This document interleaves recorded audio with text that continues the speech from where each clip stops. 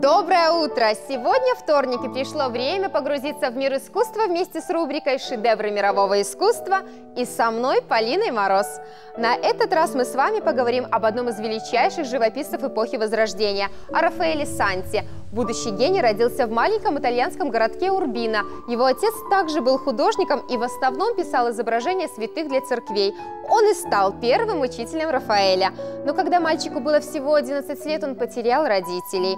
Мастер кисти известен всему миру благодаря своим Мадоннам. Хотя сюжеты картин стандартные, Мадонна либо держит младенца на руках, либо он играет рядом с Иоанном Крестителем, но все они индивидуальны и отличаются особой материнской прелестью.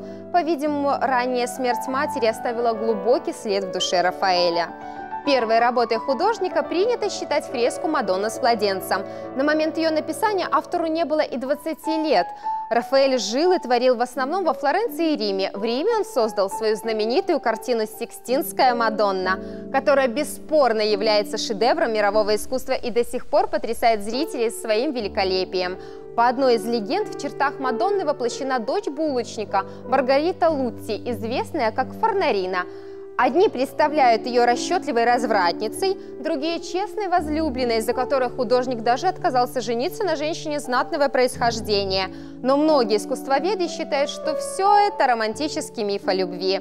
Однако образ Фарнарины можно также увидеть в других картинах Рафаэля. Например, «Дама с вуалью» или «Донна Вилатта», портрет молодой женщины или Фарнарина – но вернемся к Сикстинской Мадонне, созданной в период с 1512 по 1513 года.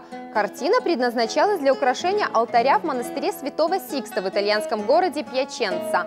Заказчиком картины был Папа Римский Юлий II. На картине изображена Мадонна с младенцем, Папа Сикст II, Святая Варвара и два милейших ангелочка – Одним из мастерских приемов Рафаэля считается задний фон картины, издали кажущийся облаками, но при тщательном рассмотрении оказывается головками ангелов.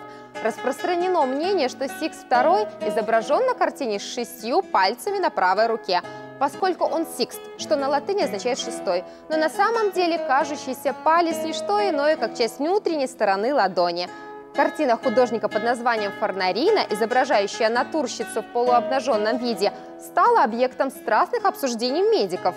Голубоватое пятно на груди модели послужило поводом предположений, что у нее был рак. Разумеется, из-под кисти Рафаэля выходили не только прекрасные Мадонны. Первое полотно, написанное не на религиозную тему, это «Сон рыцаря» и «Три грации». Известны также портреты, из которых наиболее популярны портрет Папы Юлия II и автопортрет с другом. Рафаэль также был великим архитектором. Он украсил вечный город Рим дворцами, церквями и виллами, являлся главным архитектором строящегося в то время собора Святого Петра. Эта работа требовала нечеловеческих сил и напряжения. Здоровье Рафаэля было подорвано. Он умер всего в 37 лет, оставив человечеству свои бессмертные произведения, которыми восхищаются и будут восхищаться все новые поколения. На этом говорю вам до свидания. Увидимся в следующий вторник.